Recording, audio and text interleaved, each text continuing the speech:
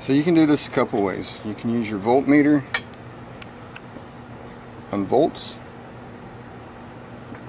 or you can just use a, a test light. Either one. I prefer my voltmeter. So we'll use the uh, test light first. I just have the other end on a good ground, which is a, a bolt. I do have the ignition switch on.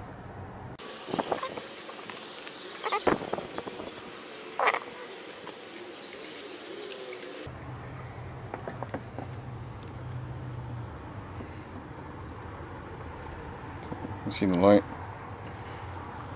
So we'll go and test all of these.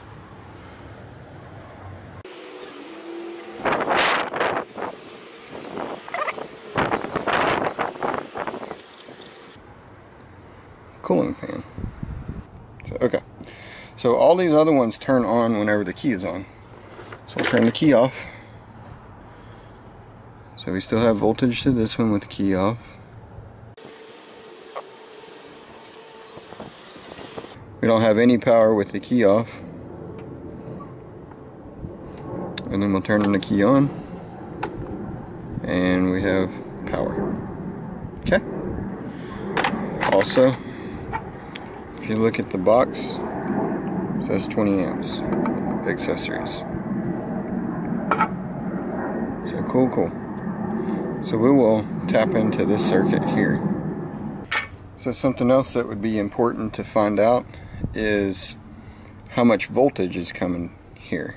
Um, if this is like a step down from 12 volts to four and a half volts or something like that, we know we had 20 amps. Most likely it's going to be 12 volts, but we need to double check and make sure because if we run our voltmeter to this and this circuit is only supposed to have seven and a half volts or you know whatever then it's going to give us a faulty reading. So we'll go ahead and test that now. Make sure we turn the key on. Okay, sorry battery died. So 1193. Like I said, that battery is dead. We'll do the other side, 1193. Um, and this probably goes to 12 volt outlet so if you look up under here, here's the uh, auxiliary power, what it cigarette lighter, whatever you want to call it. Um, black wire, red wire. Just pull this red wire off, and we'll verify. And we'll turn the key on. Up there. So there we go. So we can tap into this wire here um, and that'll that'll work as well for power. Okay so I got a spade connector and that fits in there right nicely. I guess we'll put it in that way. Uh, fits in there good. So now what we're gonna do is we're gonna hook up three different wires into this one terminal. One is going to go right back into the outlet and then two I'm going to prep for the voltage meter for the voltage meter and the coolant temperature sensor meter. So let's go do that. I think the one going back to the outlet will do this pretty thick gauge stuff. The other I'm going to use this 18 gauge wire um, it is it's really thin and there's they're LEDs and they're not pulling out a whole lot of amperage so we'll be fine with that.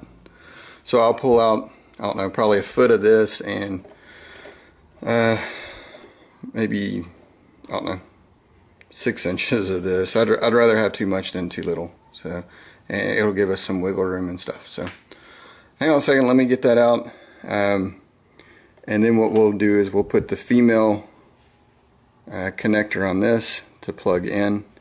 And then I'm not sure how we're going to connect the, sorry, I'm not, I'm not sure quite how I'm going to connect the other one.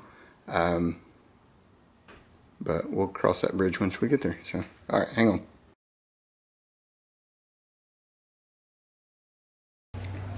So that's way more than enough.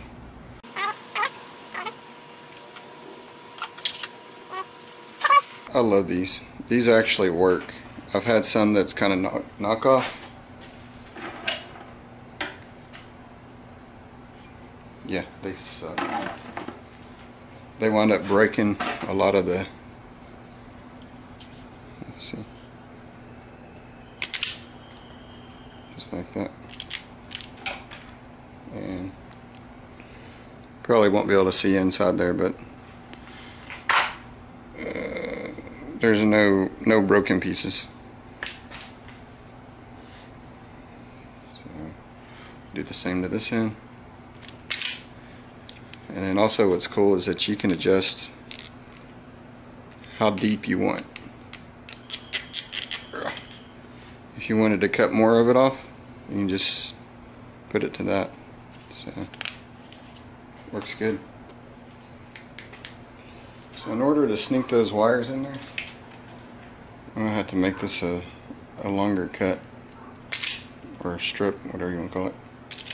I'll put those, twist these together, twist these together, solder those, that'll be one piece, slide that in with the other one, and hopefully we'll be good to go. So let me get back with you. So here's how I've been soldering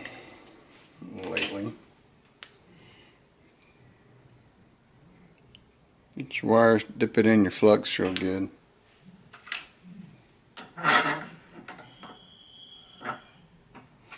That's just enough to hold it. And you get your soldering iron, or your soldering, your solder. I've been using a torch. I have a soldering iron, but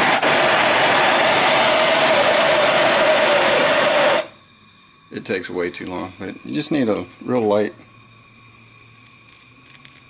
real light flame. Heat it up. Just get that real nice and hot. And that solder will actually suck down inside. Oops.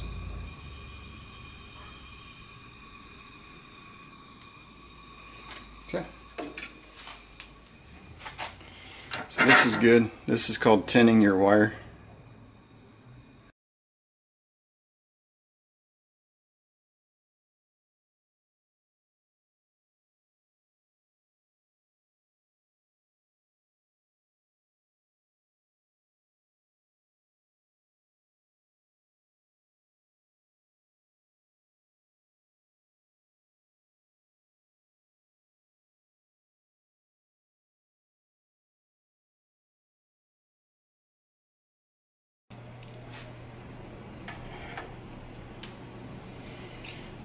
So there we go.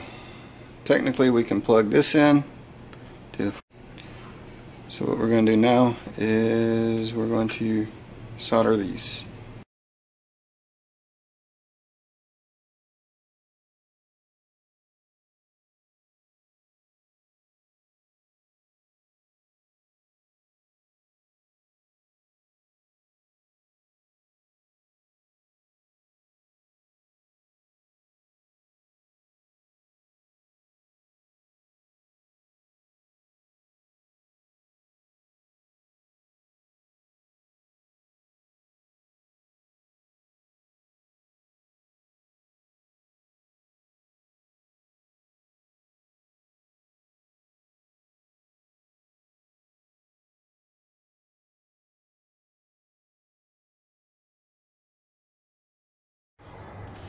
Okay, so, okay, so,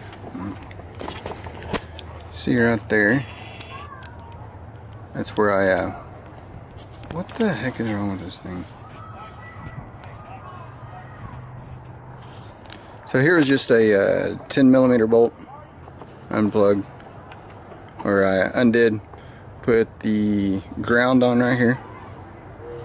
We essentially made a wiring harness I guess. Um, the good thing is, is that this is already um, protected. It has the fuse in line with this.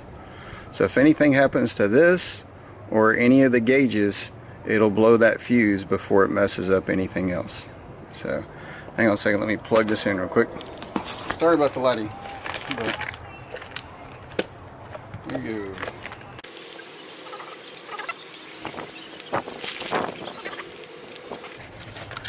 The good thing is it's not on.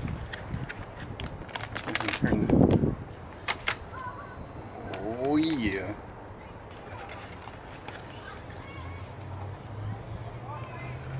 So it's showing 11.9 and 104. but you got to remember this one is not hooked up to the to the sensor, so it probably doesn't know what to read right now. Let's turn the lights on and see if the drops any. Yeah, dropping a little bit. So, uh, you can see the little red light that just popped on because it went down below 11.4. Whoa, look at it drop now. So that, again, that's reading 11.9. And then what this is actually reading 11.82. It's a tenth of a volt off. That's close enough for me. So let's see.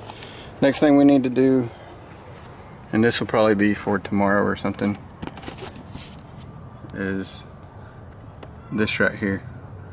We'll need to drain a little bit of the coolant out and then uh, get ready to put that uh, temp sensor in there. And then all you got to do from there is we'll run another wire up to the green, just that green wire, and we'll be done. Then I will um, kind of tuck all of this wiring away and zip tie them up so they don't get pulled on or snugged or, or snagged or anything like that. So uh, uh, the next video I do will probably be with the pods. Um, I may have to mount the pods up here or something. I hope they'll fit here, but I don't know. Anyways, uh, that's how we get this far. That's that's the main that's the main part of it all. Uh, look for part two uh, coming up within the next few days. Hope this helps you out. Y'all comment, rate. Uh, again, do this at your own risk. What I am going to do with all the connections is come back through with some, um, I forgot the name of it. Not pipe joint compound. ah, dielectric grease. Um, all the all the connections and all the fittings, uh, even the back of the wires, if I can't get to them, I'm going to stuff some of this uh, dielectric grease in there. Uh, what that does is it allows water, it it helps prevent water getting into the connection. So um, this doesn't make a better connection because electricity cannot pass through this grease, but it helps keep out water and other stuff from getting into your connection. And it also keeps it from, um, helps keep it from corroding. And if you have to plug in a switch or plug in and unplug, it, it's a lubricant kind of thing too. So it helps, uh, helps with that as well. So.